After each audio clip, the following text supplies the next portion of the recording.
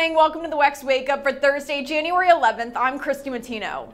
We start off this morning with Hunter Biden, who walked out of a House committee hearing yesterday. Excuse me, Hunter. Apparently, you're afraid of my words. Uh, but the White House isn't sharing any insight into President Biden's knowledge or role in his son's continued defiance of a congressional subpoena. Our Haisten Willis tells us more from yesterday's press briefing. The White House was asked about a familiar topic today Hunter Biden. Hunter Biden on Capitol Hill today. How big of a headache is that for you?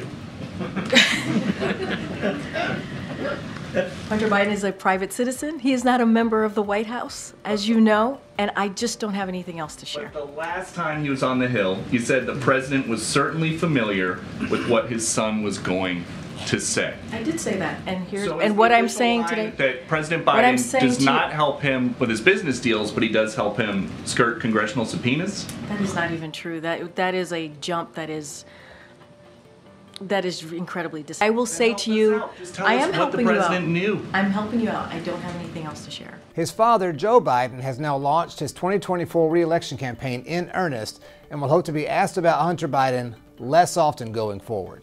I'm Haisten Willis with the Washington Examiner. And former President Donald Trump says he is not worried about former United Nations Ambassador Nikki Haley gaining momentum in New Hampshire. That's after former New Jersey Governor Chris Christie dropped out of the race for the White House on Wednesday.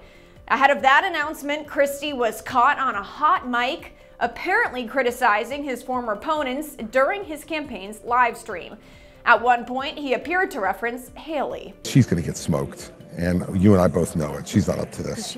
Trump called that moment a bigger story than the fact that Christie bowed out of the race. The bigger story wasn't the fact that he dropped out. Nobody cared too much about that. But he happened to say that she doesn't have what it takes. She'll be creamed in the in the election. And I mean, I know her very well, and I happen to believe that Chris Christie is right. That's one of the few things he's been right about, actually.